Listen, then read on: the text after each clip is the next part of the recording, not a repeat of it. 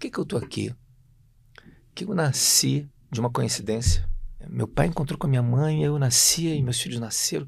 E o que, que a gente está fazendo aqui?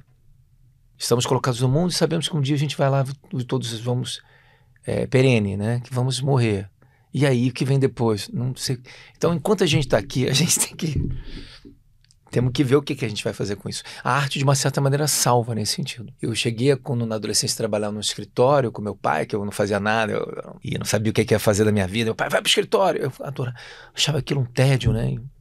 E, e não sei, as pessoas podem ser genial, mas aquilo para mim era uma.